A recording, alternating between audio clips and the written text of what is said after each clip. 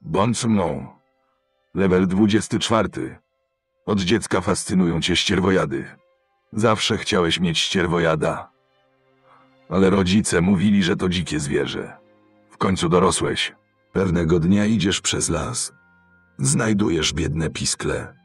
Małego ścierwojada, który wypadł z gniazda.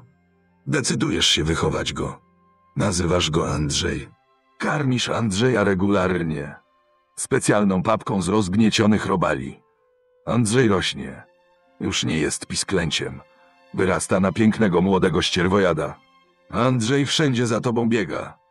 Jesteście najlepszymi przyjaciółmi. Andrzej dorasta. Pewnego dnia siedzicie na tarasie. Oglądacie piękny zachód słońca.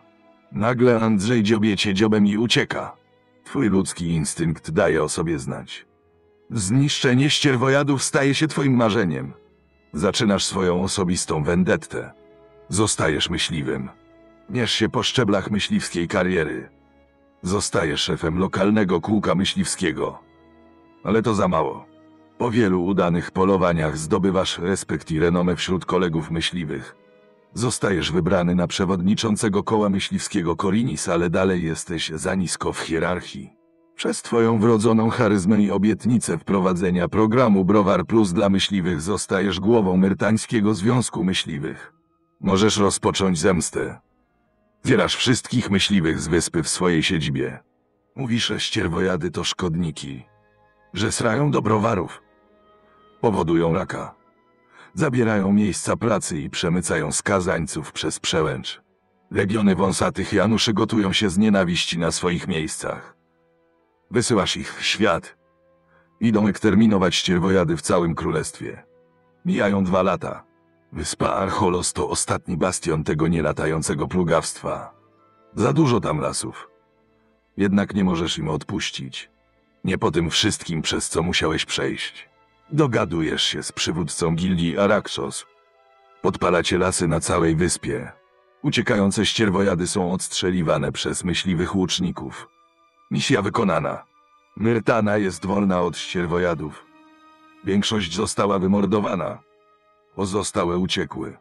Urządzasz wielkie przyjęcie. Wszyscy myśliwi dostali po sześciopaku piwa.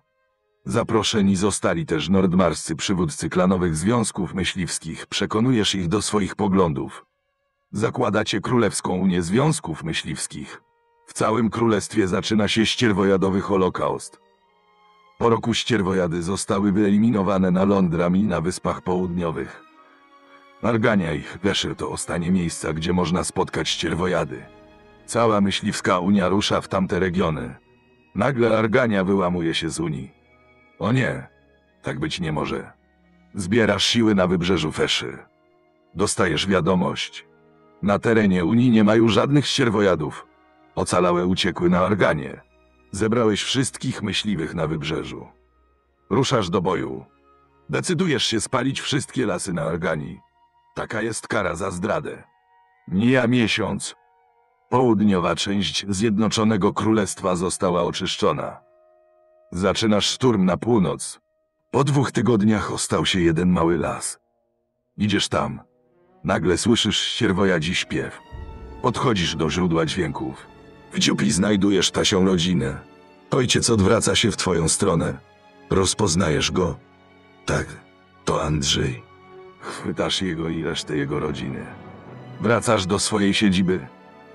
Rodzina Andrzeja to ostatnie ścierwojady w królestwie. Zaplanowałeś odpowiednią karę dla niego. Przywiązujesz go sznurkiem do ściany. Jego rodzinę przywiązujesz poza jego zasięgiem. Wpuszczasz do pokoju wilki.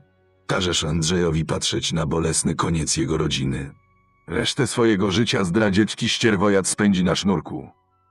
Mając świadomość bycia ostatnim ścierwojadem na kontynencie, Królewska Unia Związków Myśliwskich pilnuje granic królestwa. Każdy ścierwojad jest ustrzeliwany zanim dotrze na kontynent. Twój ludzki instynkt rządzy mordu został chwilowo zaspokojony. Nie masz czasu myśleć o tym, co zrobiłeś. Jesteś zbyt zajęty. Zaczęły fascynować cię kretoszczury. Ostatnio udało ci się znaleźć malutkiego kretoszczura. Nazywasz go Zbyszek. Subskrybując kanał, oceniając i komentując ten film doceniasz moją pracę i wspierasz rozwój mojego kanału.